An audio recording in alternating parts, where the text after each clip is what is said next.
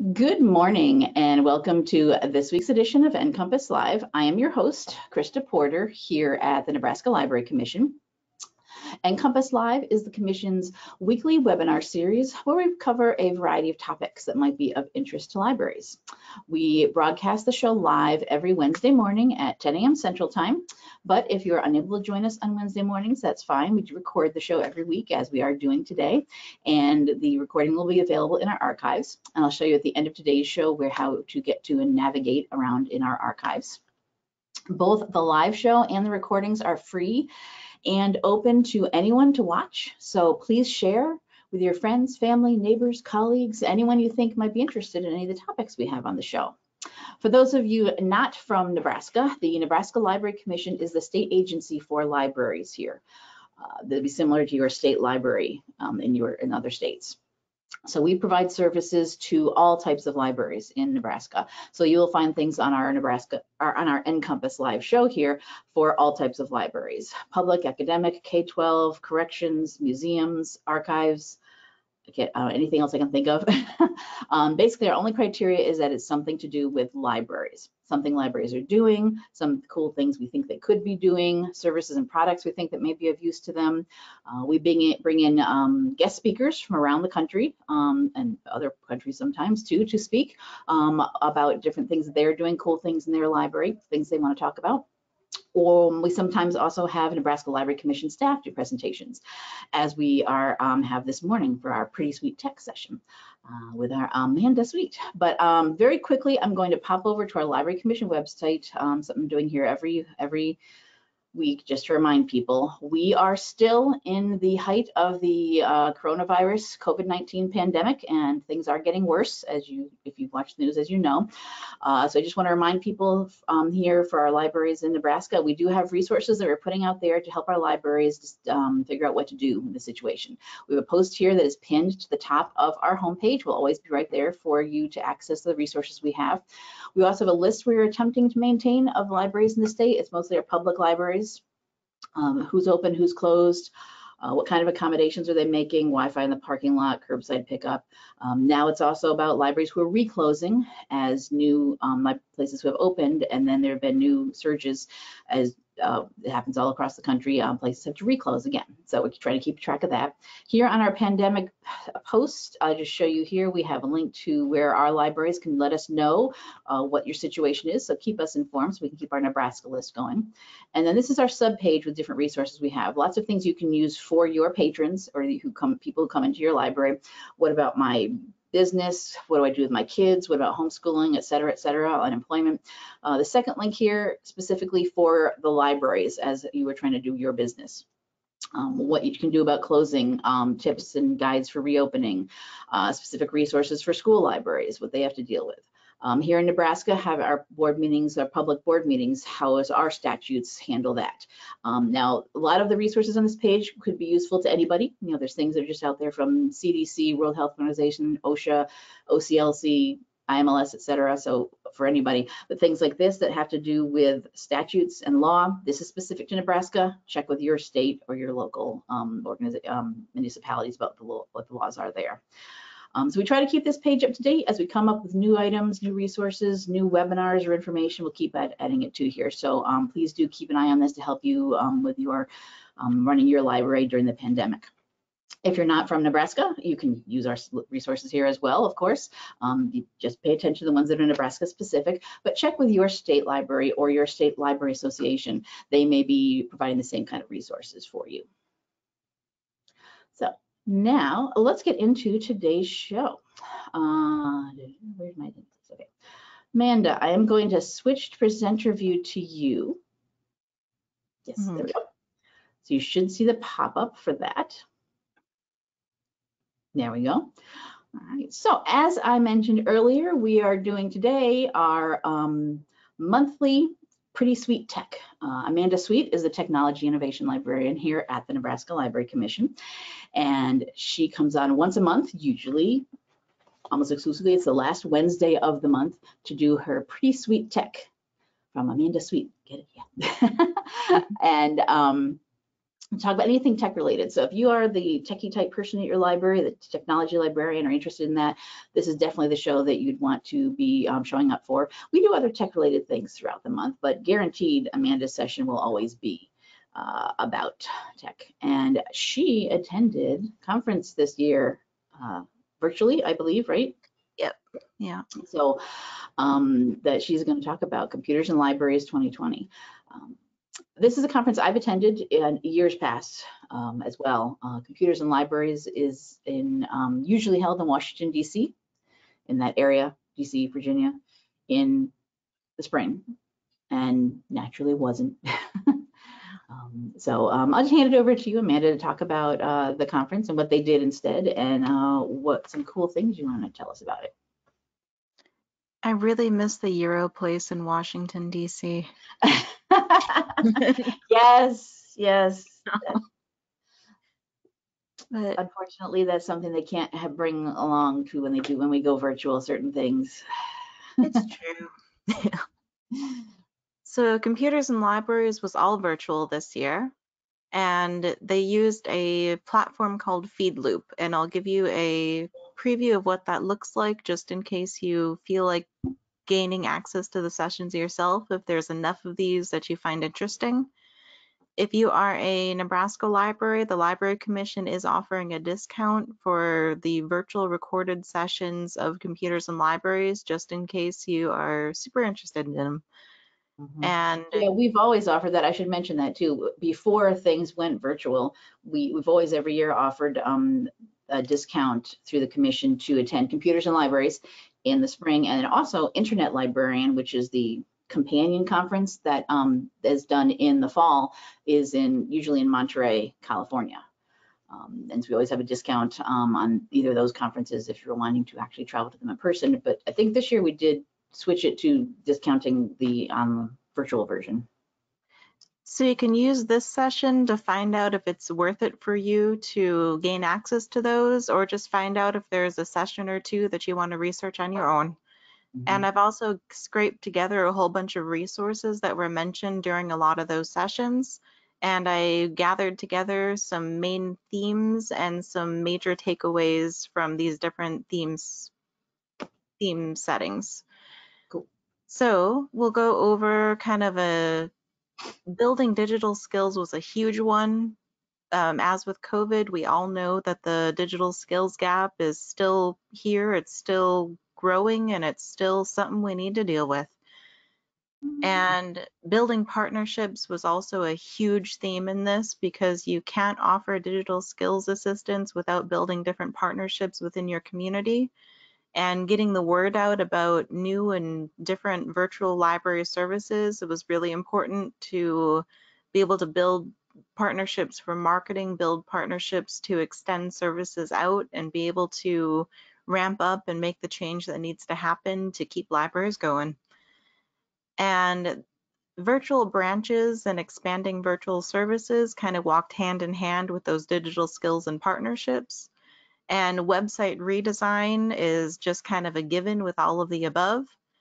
And then emerging technology kind of happened in two different ways, waves. Um, emerging tech can be used to improve library services and improve the way the library operates in general, but it, there's also ways that libraries can help teach the community and help the community gain access to help figure out ways that they can use emerging tech in their own industry or in maker spaces or in a variety of different ways. So you can either use emerging tech in the library or you can teach emerging tech in the library, dealer's choice. All right, so in terms of building digital skills, the major sessions that I attended that kind of encompassed the core and the meat of what you need to know is using social media to engage your community and telling um, digital digital storytelling was just a huge theme if you even just Google digital storytelling, you will have a my, like a major section of what this conference was all, was all about. And supporting tech integration, a major part of it is a lot of existing libraries, they needed to shift the way that they did things really quickly. You've probably heard this in a lot of sessions already, so I won't go too much into how libraries have changed for to adapt to COVID. But this is about the supporting tech integration is about ramping up the digital skills of staff so that they can help patrons adapt to a new digital world too and closing the digital divide. Um, there is a motley assortment of digital resources that we now need to access. We're now communicating mostly via Zoom. Um, Zoom fatigue is real. And a lot of these sessions went over various different tools, platforms, and resources that you can use to help your community gain access to the internet, how to learn how to use the correct um, digital devices, the tablets, smartphones, computers, and once you've learned how to use the device itself, how are you going to use that as a tool in your everyday life?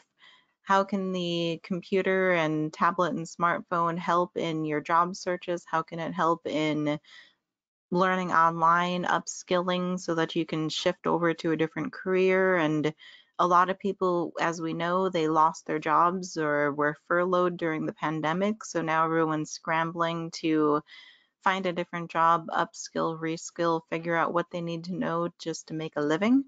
And that is what closing the digital divide and building digital skills has turned into. So in terms of resources, I built a I scraped together a whole bunch of the resources that were mentioned during the various different sessions, and I just compiled them all into a major table. And I also have a digital literacy guidebook that for librarians that I've been putting together for the past few years. And I scraped all of these resources and put them together in the appropriate places in that digital literacy guidebook as well. And Awesome. there is So a link. these are new things that, some of these might be new that weren't in there before? Yeah. Um, so Tech Boomers, that was actually one that you recommended to me that I did add to the digital literacy guidebook already, but it's worth mentioning again. Um, GCF Learn and North Star were already in there. Grow with Google has actually grown some more. They've added some new tracks and they've added some new resources that are now available. Uh, Microsoft Digital Literacy is new that was not previously on that digital literacy guidebook. Um, Mhm. Digital Learn is a resource from the Public Library Association that will help people learn how to learn what a computer is, learn what a tablet is, and how to use the common different smart devices. And the tech skills checklist for library supervisors and staff comes in handy for library staff who want to get a baseline for where they're at right now and then link over to different resources to fill in the gaps that they need to be able to improve their own library services and to expand the services that they provide to patrons. And kind of an overview of why in the world do people need to know this? Mhm. And sorry, I didn't mute my phone. But Oh, I didn't even hear it. That's okay. oh, well then never mind. It never happened. So a big part of this is libraries have been putting together resources that show people how to make these, how to teach these digital skills, but then every so often no one will show up. So they found out in these sessions that I went to for computers and libraries and in my own work talking to libraries about digital literacy, marketing is a thing and understanding the major problems that people are facing so that we know how to market to a target audience and actually get people to know that the library exists and is now providing the service is a big thing. And that's where the partnerships come in is because if you are going to be offering new services to help people navigate parenting in the digital age, you might want to work with a, lo- a local PTA group. And the school, the local public schools, they are already overtaxed and they are under resourced. So being able to partner together with those local schools makes a big difference. And some libraries are already doing it, some computer communities are already doing it. but um, the Young Adult Library School Association, I might be getting that acronym wrong, but if you Google YALSA, it'll pop right up. But they have a guidebook for how public libraries and school libraries can build partnerships and help each other out and just keep each other going during this time and just in life in general. And understanding that there is more than one way to learn all this stuff. And understanding that we used to do most things face to face in the library and do maybe one on one training or just one shot assistance. But now everything is shifting over to virtual and people people don't actually do all of these tasks while they're in the library all the time. They might need to access it on the go on their smartphone. They might need to access it right before they go into a job interview. They might need to access it um, while they're in their grandparents' or their grandkids' house. And so these different on the fly resources are what digital skills are all about. But moving right along, so a little subtopic in here was rebranding and marketing the library and helping people understand that in a lot of ways we're more than just books. And Pew Research did a whole bunch of surveys about how people view the library and library like people overwhelmingly over 70% of people wanted the library to start offering more digital skills and digital skills training. And libraries started doing it, but some people didn't show up. So it's just getting the right digital skills training is what it's all about. And that's more about, it has a lot to do with user experience design, which we'll talk about in the website and redesign rebranding. So all these themes just kind of go together. So these were the sessions that were mostly about building partnerships. So library competitors, partners, and community value, and partnerships and collaboration for public libraries and schools, and the examples for building partnerships were three of the biggies that I went to that had a lot, like the bulk of the information that had main takeaways for me. And, but the other ones were also awesome.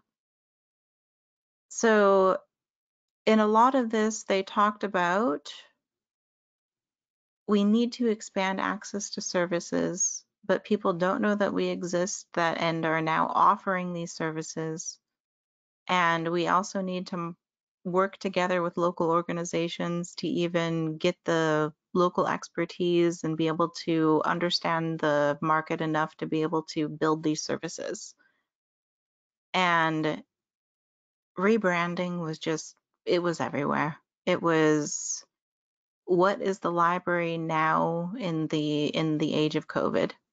And this is probably not the first time you've actually heard this because I prob if I could, I cannot count the number of times I heard a similar phrase to that during that conference. And some recommendations were to be able to connect with businesses, schools, and try to find out how the library can add value to the community, but how your goals overlap with local businesses and how your goals overlap with local schools. Because if you don't have a shared value system and a shared goal system, the partnership is probably going to break down. And it's because when you build a partnership, you need to be able to understand what you're both going to get out of it. Um, a major example that they used in the bill, like the examples for partnerships was if you're going to reach out to local tech companies or you're going to reach out to your local Walmart or something like that, Walmart needs to know that they need to have more access points that will help people gain these new digital skills. Not everyone is comfortable going to they're going to work and saying, I don't know how to do my job. So the library can say, we can be a more accessible access point so that people can get the help they need without having to admit to their employer that they don't know what they're doing. And not everyone will be able to express what they need and know what to ask for. So that's one major selling point for being able to say, local businesses, this is why you need your library because your employees are not always going to feel comfortable telling you that they need help. Mm. And they're not always going to be feel comfortable in asking for that. And you are not always going to be able to, as a small business, you're not always going to be able to develop an internal training program that's going to be able to give people the skills they need because you're already strapped for resources. And that's why you need your library. So Something that comes to mind when you're talking about before about marketing that it's been an ongoing issue that we are um, libraries are inconsistent in our marketing. Some do great and some are like floundering. Um, Yeah. And then this partnership thing, I've um, been throughout the pandemic on, I've been on various uh, Zoom meetings and calls with libraries, um, library directors talking about what they're doing.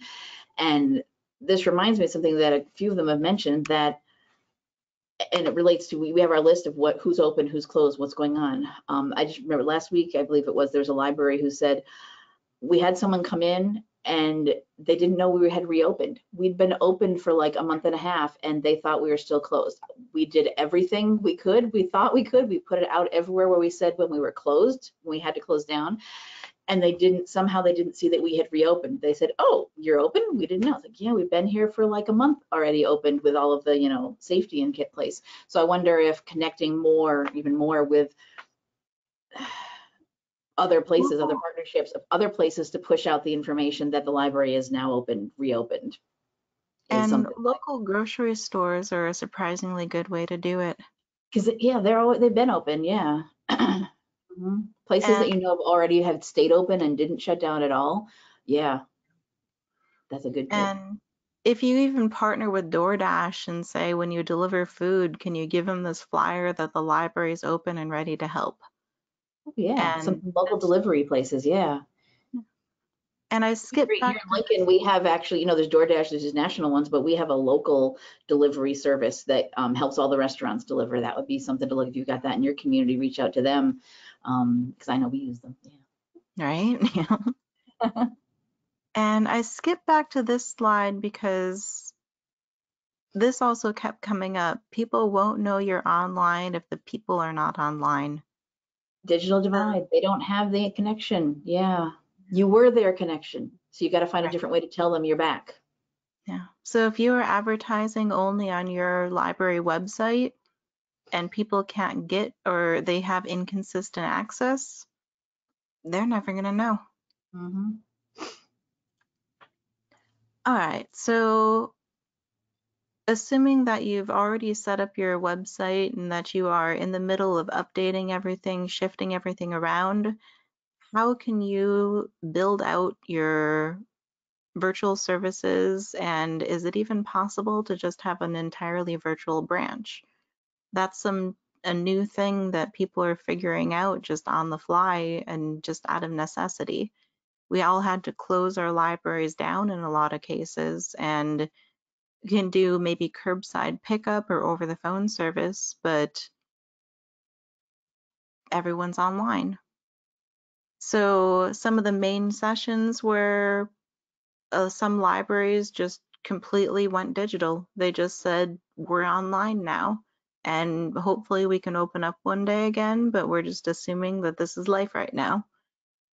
And bringing collections to the screen, digitizing everything. Um, even in the library commission, I'm getting calls from uh, local uh, public libraries that also work with like smaller museum collections, and they want to know if they can start digitizing their collection and putting it on their WordPress website. And spoiler alert, yes, you can.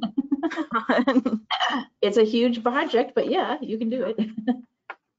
and um, there's also you can build um, 3D virtual exhibits, you can set up everything in your library exactly the way you want it to be. You can get a 360 camera and then you can take a 360 of everything so people can navigate it just on your website. You don't need a virtual reality headset to be able to navigate a 360 image. You can just pop it in there using WebVR and then use your mouse to navigate it.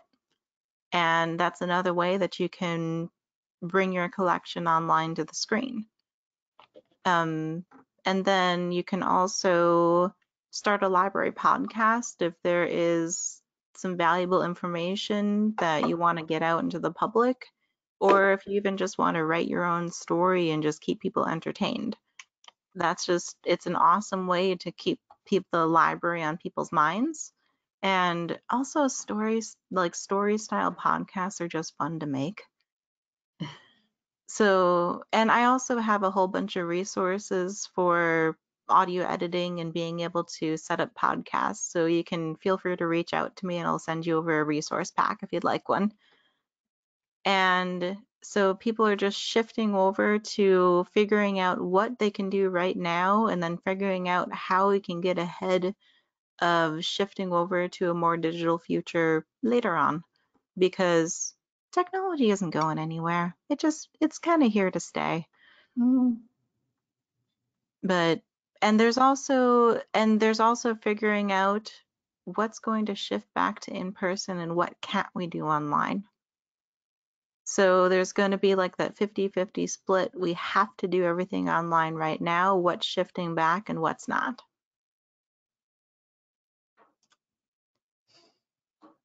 All right, so some of the major takeaways that were recommended during the sessions were the fail fast approach. So you're probably not going to get everything exactly perfectly right on the first try. But if you've ever learned anything, you already know that's true. And so it's mostly just this is kind of a story for management and for employees. So management would need to get used to the idea that people are going to screw stuff up. And okay, getting that tolerance level. and employees need to figure out that screwing stuff up is not the end of the world. And getting that kind of symbiotic relationship that says, this is what I did, this is what worked, this is what didn't work, and this is how I'm going to try it differently again in the future. And figuring out, am I going to do something like this again or not? And there was one session that was all about how to make your own videos and how to do video recording, load, put it up onto your website, put it up on YouTube, and just keep the library on people's minds and knowing that you are developing new resources like virtual story hours, you're developing um, tutorials for how to use uh, Canva or how to use um, podcasting. Like the library can develop a podcast and then make a series of tutorials about how local area community members can make their own and how this can help them in a in their job or in their personal lives in the future. So understanding that the library can learn the skills, then they teach the skills, and the librarian gets better at the skills by teaching, and then the community members can start using those same skills in other industries. And they can start using it in personal hobbies and just kind of get that cycle of learning going and then use that cycle of learning to start making a case for stakeholders and the people who are funding the library to say, we're doing this right now. The library is still valuable even if our doors are closed sometimes. And this is why the community still needs the library, and this is why we need to increase or maintain funding. So it's being able to demonstrate that value and that need. And that's why you also need to update your website frequently because if your value is not demonstrated on your website, then stakeholders are not always going to do the extra work to find out the value of the library. Um, in a lot of the sessions, we found out that the li the library website might be the first and only access point that people go to to find out if they want to invest in your library or if they want to attend library services. and that kind of turned into your website is the main entry point to your library. And a lot of people already knew that, but it's kind of, it just got reiterated about 20 billion times during the conference. And so there were also some recommended tools that came up, and I put in this slide for um, the number one question that I get for everyone who's trying to do video and audio editing is which tools should I use and what has already worked for you. So this is just a list of different things you might want to try out for your own library. And I also included some major tutorials that, um, so there were some steps that were recommended during a lot of the sessions, but make use of, they've already put together tutorials that reflected the main meat of what was in those sessions. So I, so I just linked over to what I knew already worked. And there was also tips for how to shoot video. Um, I've put together a whole bunch of resource packs for libraries. So if you want to have access to those, just shoot me an email and I'll get it sent over in about 30 seconds. Hmm. All right. So there was also a whole ton of sessions about tips for how to redesign your website and how to get to know your audience better.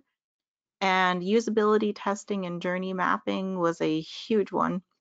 Um, usability testing is, and journey mapping is you just designed a website, you have a theory or an idea about how people are going to use this website, but a lot of times people don't use the website in the way that you intended it to. They So, like you think. right? Yeah. this is so important. This is one of my little pet peeves about website design that I know some some places, for whatever reason, sometimes skip. They think they know, and then why isn't anybody finding us? Why aren't they finding the thing we wanted them to find? Hmm, Right? Yeah. Behavior. People's behavior is unpredictable. Yeah. And then like it's finding out, okay, so this is how people are actually using our website. How can we reorganize information and how can we shift things around so that people interact with it more and find out what they're actually looking for and just put it up front and center so that you can get more engagement with the site and not frustrate people. And so there's also web design for UX stands for user experience. So anytime you see UX on here, it stands for user experience. So simplifying information architecture goes hand in hand with that journey mapping. When you find out how people are actually using your website, how can you simplify the way that you're organizing your information so that people can access what they need when they need it and why they need it? And so then there was a whole session that was just about a library that was contracting with another company to be able to reorganize their website. And they recommended a tool called Miro. And Miro is basically you can put up digital post-its and they use these awesome digital post-its to be able to cluster everything they wanted on their website into different theme groups and then they were able to and that was how they organized their information just based on those digital post-its. And they used that Miro instead of using an actual physical board because a lot of the planning was done virtually as well. Because not only can patrons not always go into the library right now but staff isn't always comfortable going into the library. And if you Mm-hmm. use that digital tool that's basically like a giant digital whiteboard you don't have to and you can also it's shareable so that you can just send over a link you click it open and then anyone who has access to that link can make adjustments to the board add new stuff and it's basically like a project management version of google docs. And so user experience in older adults is a session that's all about how can you target people who are not as experienced with technology or not as comfortable with technology and understanding that different age groups are going to be interacting with your website in different ways. So a 25 year old might look at those little three little dashed lines and know that that's a hamburger menu. If you click on it, it's going to open up another menu. But an older adult who doesn't have as much experience navigating websites because they just gained access to the internet is not going to intuitively understand that those three little lines mean that there's a menu that's available. So that'll that's going to change the way that you design. Everyone just knows, yeah. So instead of just putting those three little lines, you put the lines and then you put the word menu or click to open menu. Otherwise, people are never going to interact with it. They're never going to know what you intended from that symbol because they don't know what the symbol means.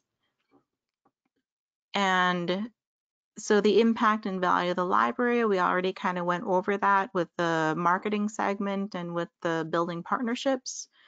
If you don't have the impact and the value added from your library on your website already, it's something you'll probably want to look at.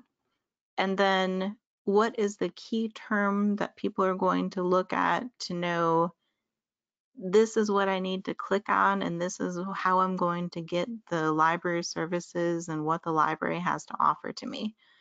Um, a lot of times this impact and value will show up in the mission statement, the about the library, and the services. So those are kind of your main three categories that you kind of want to bolster that people are looking for for that information. All right, so I already kind of went over a lot of these, but I'll go over the major takeaways that can be stated a million times and it's never enough. So responsive design, if you haven't, if you don't already know what responsive design is, that's why I have the picture of the cell phone, the and the laptop over here. And it's because responsive design will help the help you design one single website that can be viewed on a large screen, a small screen, and a medium-sized screen. And the way that usually works is in columns. So on a large screen, you might have one wider column that has like three little cards that go across in a row. But when you view that same website, the screen is automatically going to shift so that it's only showing one mini little card on there and you want to make sure that the text isn't shrinking down to too tiny of a little font size so that people don't have to keep zooming in on their phone and then shrinking down on their phone. Because the harder it is for people to navigate your website on a smartphone, the less engagement you might have on the site. Because there's a higher percentage of people that are using a mobile phone as the only way that they can access the internet.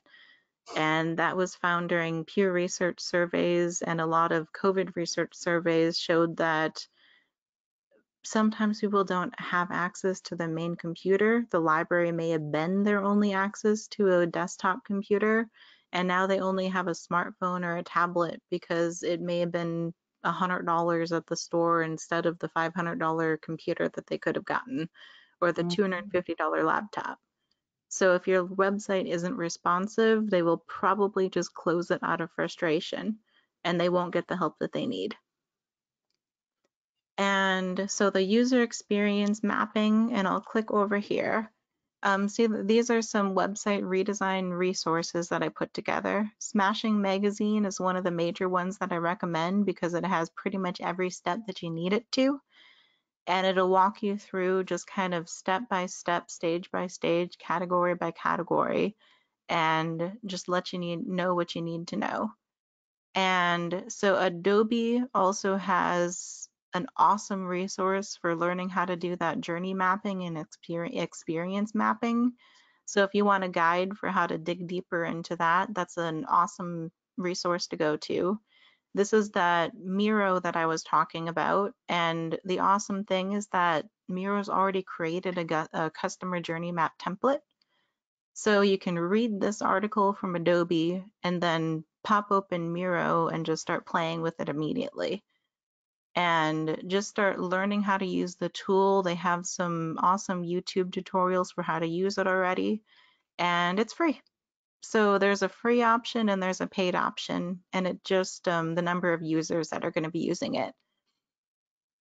And there's also responsive layout, and this will show you how to design WordPress websites with a responsive layout. Um, I have a bone to pick with the For Dummies title because this is probably one of the smartest articles I've ever seen, but I'll take it.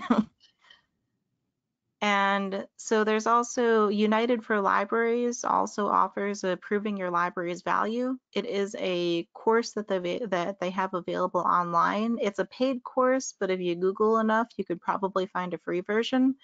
This is just the one that they recommend. United for Libraries, um, there's there's some states too that have paid for um, statewide uh, subscription, I guess you call it, to everything United for Libraries offers. That's United for Libraries is for friends and trustees and things. Uh, we have that here in Nebraska. Actually, we paid for everyone in this every um, library um, employee to have access to anything they have for free. We pay for statewide access, and there's um, 10 or so states that do that. I, off the top of my head, I have to check, but um, see if yours might already have given you that access too. Score. I am taking that class. All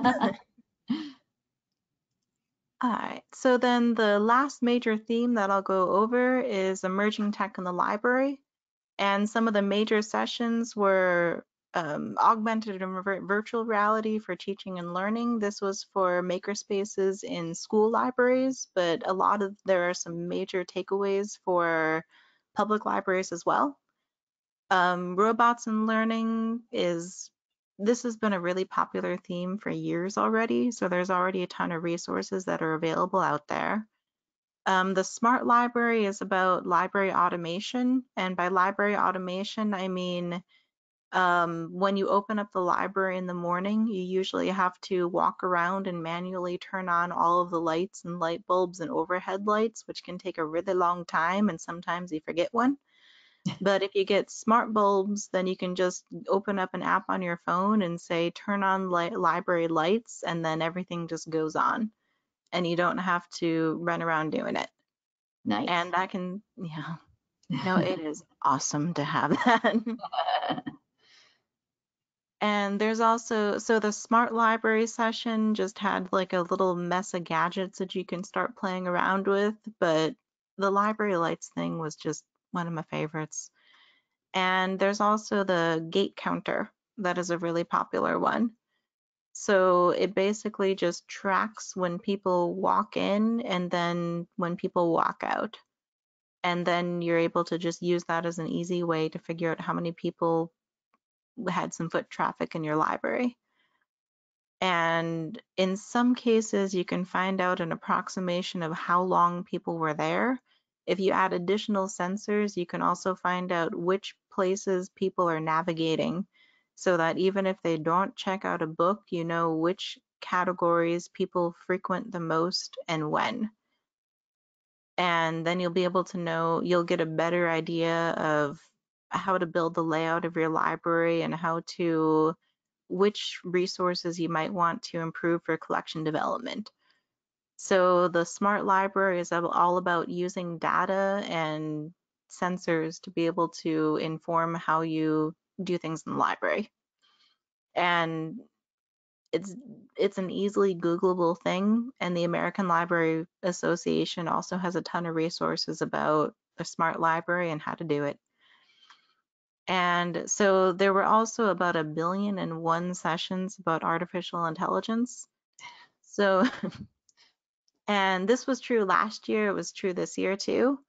But so this AI insights and info was about specifically how artificial intelligence was going to impact like reference librarianship and how people find things online and how the library can shift what they do so that they can kind of reference proof themselves or like future proof themselves because eh, you may have already seen this in your own library, people saying, I don't need to go to the library, I can just Google it. Or I don't need to go to the library, I can just find it online. And we're finding out that people believe they have higher digital skills and higher research skills than they actually have. But it's hard to be able to encourage someone to go into the library if they don't understand that that's, this is a problem So instead of just being, instead of just curating resources, this session recommended that um, simple access is no longer enough. So it's shifting over not to just this is what the resource is, but this is how you can use the resources in context. And it's helping people take that next step to say, this is not just access, this is application, this is real world problem solving, and this is this is how the library is going to help me do the things that I need to do. Instead of just handing me a list of stuff and saying, deal with it.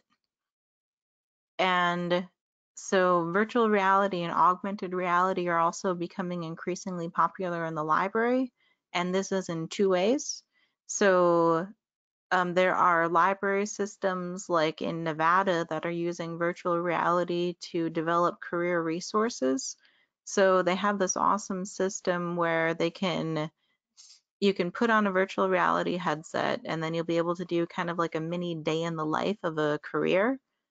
And then if you like that career that you just gained exposure to through VR, then you can sign up for a career training program and actually learn how to do the thing.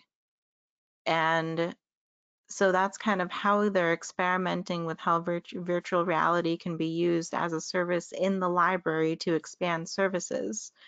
But there's also the virtual reality lab that will help people that will provide access to the headset itself to patrons so that they can figure out how they can use it in their work or how they can use it to solve problems or just have fun. So they can gain access to the headset and learn how to use Unity to be able to develop a program and make those res- and use it themselves. And we talked about smart libraries a lot, so I won't go over that too much again. And there was also um, Roanoke Library System is a really small library that's in, I want to say West Virginia.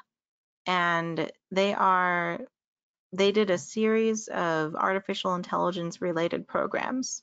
So code.org and a whole bunch of different like hour of code, they put together some different resources so that libraries can start doing AI activities themselves and they can start just kind of showing people what AI is all about, playing around with it and experimenting with it.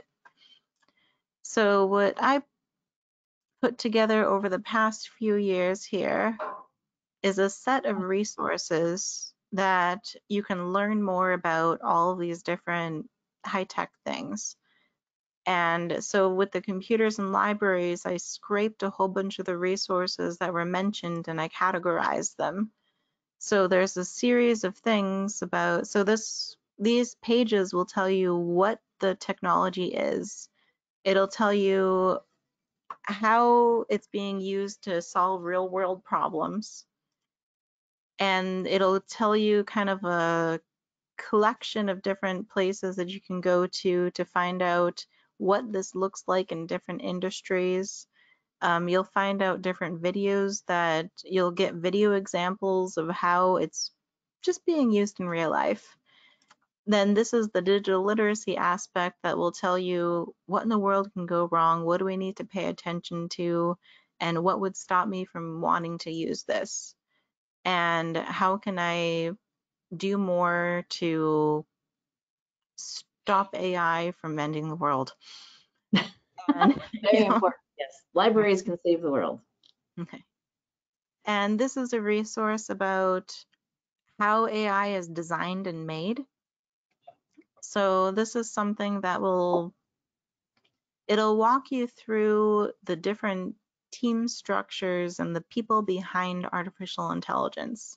So this Meet Amazon's core machine learning team, it shows you that AI is not just something that lives in a digital world. Mm-hmm. These are the people that make it. These are the people that are embedded in Amazon's main system. They're the ones that are talking to the supply chain operators and they're talking to them to find out what their job is like and how AI can be used as a tool to help in one small section of that main process.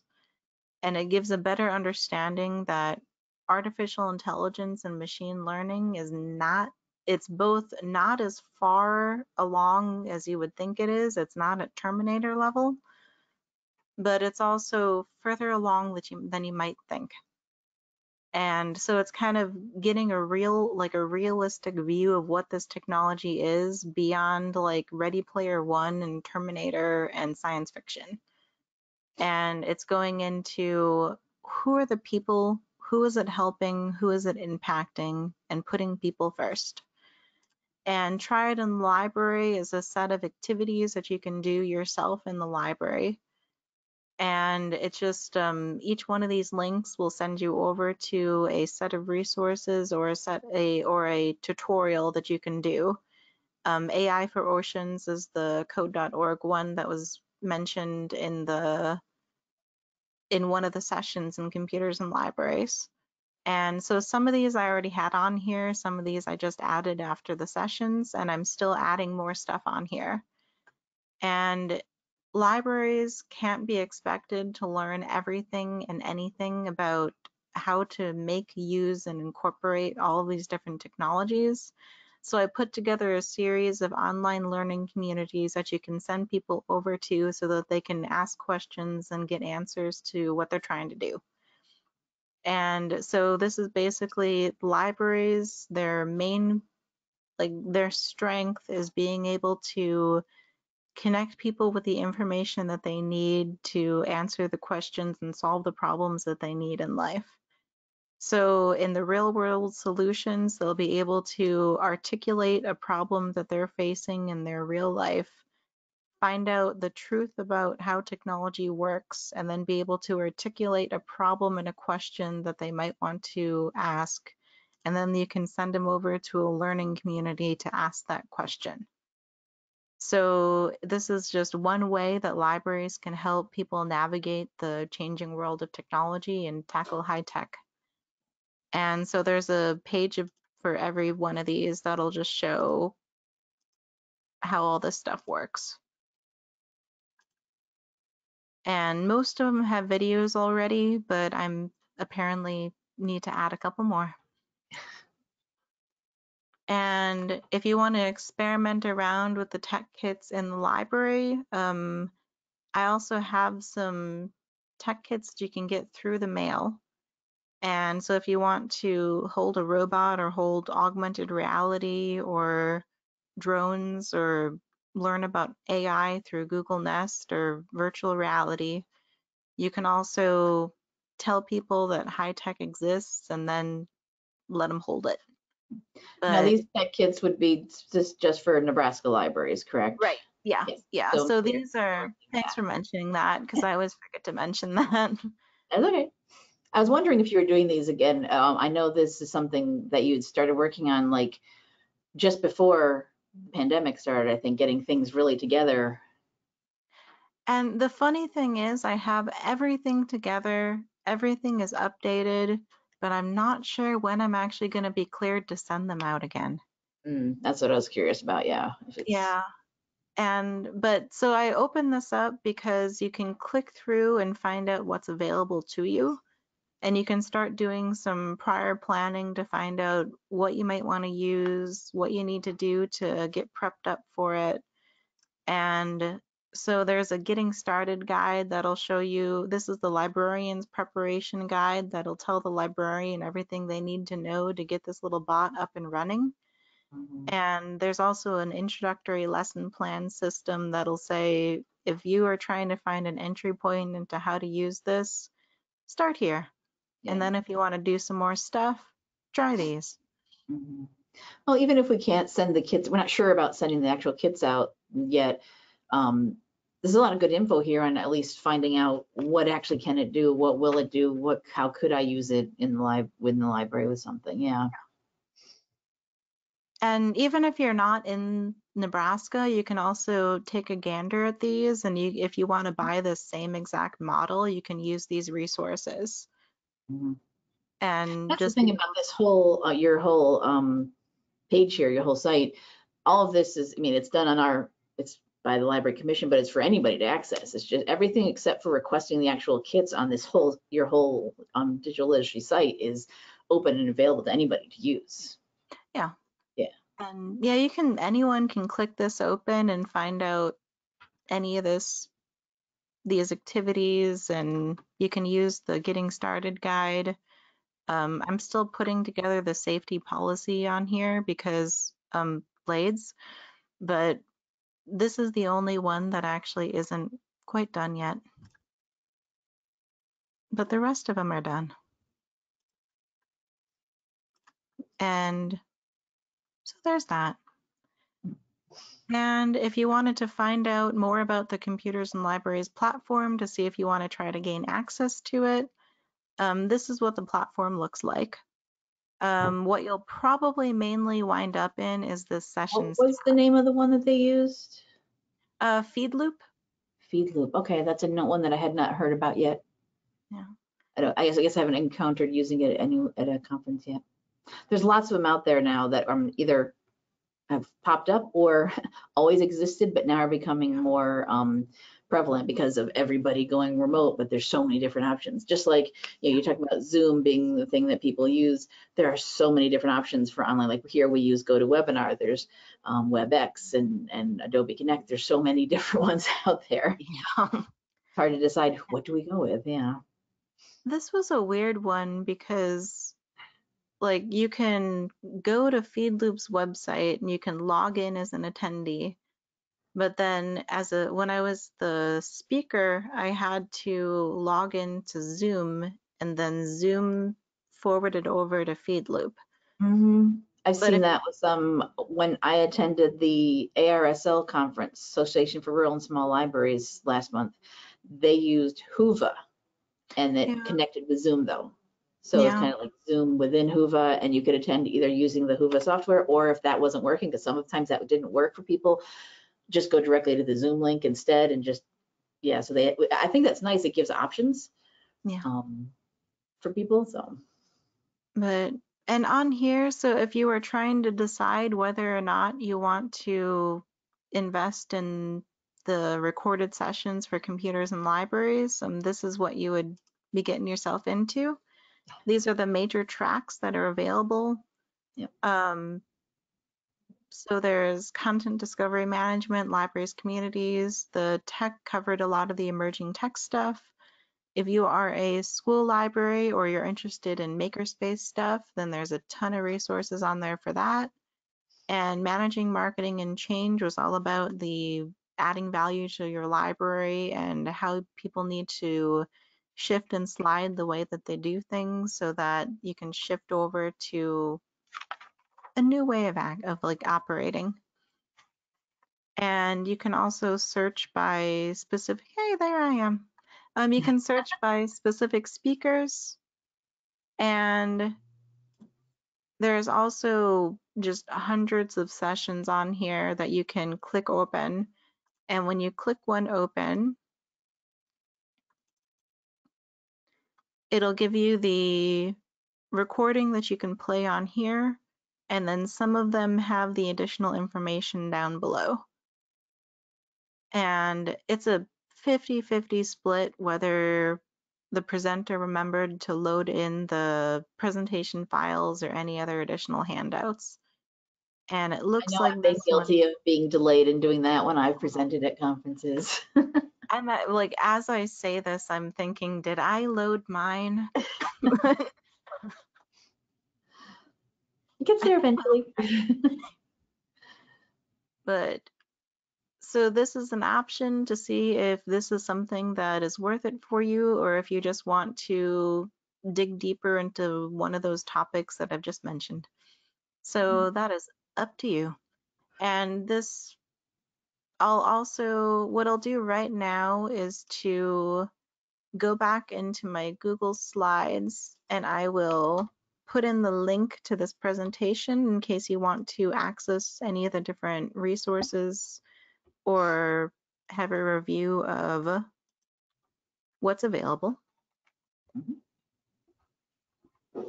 Yep, and I'll mention when um, we will also include the link to Amanda's slides when the recording goes up for our archives. So uh, you'll all have access to that as well from, through there too, if you don't catch it right now, and that's fine. And I just put the link in the chat here. And does anyone have any questions for me? Let's see, does anybody have any questions? Go ahead and type into the question section. Um, we're a little after 11 o'clock, but that's okay. We did start a little after 10 um, with the show as well, so it's not a problem. And we will um, answer any questions that you may have. um, As long as it takes to get through all of them. There we go, that. And I'll do this over here. Uh, you can type into your questions.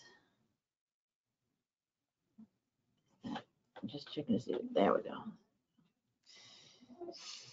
Um, we did have someone say, someone did say that Roanoke, you weren't sure was in Western Virginia. So it's in Virginia, but in, but not West Virginia, I guess Oh, that's. Yeah. I did, I just Googled Roanoke at public library or library system and it came up, yeah. No, their session was awesome. Yeah. And just some thanks from, I know uh, Rebecca Jones, who's involved in the creating these uh, computers in libraries conference about, um, thanks for sharing about the conference um, so that we can get this information out there, information out there. Um, and as I said at the beginning, I've, you know, obviously Amanda's attended and presented at computers in libraries, and I'm not sure if you did internet librarian. Have you gone that way? No, no, and Okay. this, oh, I should mention, this was actually a merged computers in libraries internet librarian.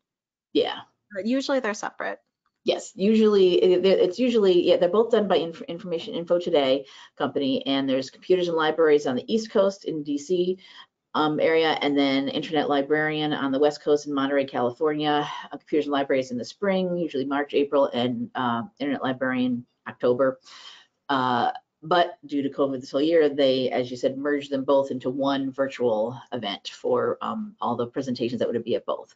Um, what I really like about these conferences is merging in this way, I think was a smart move uh, because what I've noticed, and I've actually presented myself at these conferences, they repeat some of some of the same sessions, the same, same speakers at each conference in the spring and the fall, which is great because if you're like on the East Coast, you don't have to travel all the way across the country to to attend if it was in person. You've got that, uh, you know, like half the country can go to the East Coast, half can go to the West Coast, and everybody is, you know, nice, um, you know, spread out there. Um, but now that it's all together as one, you know, everybody's able to attend it online. And the resources alone are worth doing it. Yeah. Resources, connections, networking, the usual things Yeah. um, that you get. Uh, what did you say? Euros. I know when I went to DC, when one location they had it, there was a really nice sushi place, walkable. But Yeah. and also Jane Dicer. Hi, Jane. Uh, it's a great presentation, Amanda. Look forward to publicizing the recorded version. Yes, we will have that out there for you.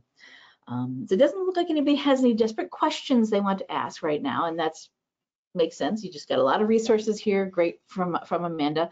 Um, I'm going to pull back presenter control uh, to my screen. Where's the right one? There we go. There it is. Yeah. Um, so yes, we are recording the show and it and it will be available to you before the end of the week. As long as uh, GoToWebinar and YouTube cooperate with me on getting everything processed and up. Uh, everyone who attended today and everyone who registered for today's show will be sent an email from me letting you know when it's available and ready for you to watch. The We'll have the recording of the actual show and the link to Amanda's slides will be in there. And this is our main NCompass Live website.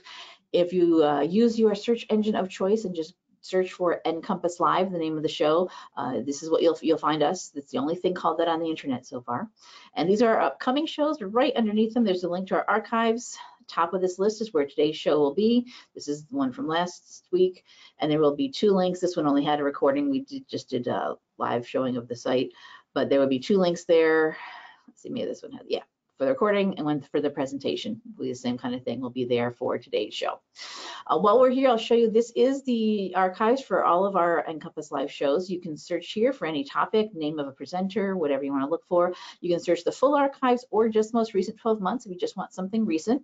Uh, that is because this is the full archives. I'm not going to scroll all the way to the bottom because it'd be too far. This is our full archives going back to the very beginning of NCompass Live. NCompass Live premiered in January 2009. So we've got over 10 years worth of shows here. We do the show every week, almost every week of the year. Um, so there's a lot of topics here. So just pay attention when you are going through our archives. If you're watching something old, pay attention to the original broadcast date. Um, some of this information may stand the test of time, reading lists, uh, things like that, uh, how to weed your library collection, of course, but some things may become outdated and old. Certain services and things may change. Um, well, Google Forms for your library. Google Forms have probably changed since 2017, so read, you know, watch that one at your risk. um, so just pay attention to things that might have changed. Services might not exist anymore. Services may have changed. Links and things might not work anymore. Um, but we are libraries, librarians, and so we do archive and keep things for historical purposes. So we always have our full archives up here. Just pay attention when you are watching them, uh, where when they actually originally broadcast. So that will be our archives. Um, we do have a Facebook page for NCompass Live. I've got links to it and it's open over here. Um, we post reminders, log in for today's show. Um, here's the recording from last week's show. So um, anything that um, may be of interest to libraries. So we do have on here, if you'd like to use Facebook, give us a like over there. Otherwise, you can follow us anywhere online. We use the hashtag, as I was, as I mentioned earlier, NComp Live for the show. So you can look for that anywhere. So that wraps it up for today's show. Thank you everybody for attending. Thank you, Amanda, for telling us all about what happened at Computers in Libraries, Internet Librarian Virtual this year. Uh, next week, our topic will be Letters About Literature. This is an annual writing competition for students that um, we are hosting here through the Nebraska, in Nebraska from um, Center for the Book, and we will talk about the writing contest where students can write to an author about how his or their book affected them. And um, it's a great, really fun um, program that we have going on here. So please do sign up for next week's show and their future shows. Got all the November dates here. I will note here, November, the second show in November, we do usually do our show on Wednesdays. November, the second Wednesday in November is actually Veterans Day holiday. We as a state agency are closed that day, so the show has been bumped to Tuesday. So just be aware that that week show, November 10th, is actually Tuesday, November 10th, not Wednesday. And that, that wraps up for today's show. Thank you everybody for being here with us, and we'll see you on a future episode of NCompass Live. Bye-bye.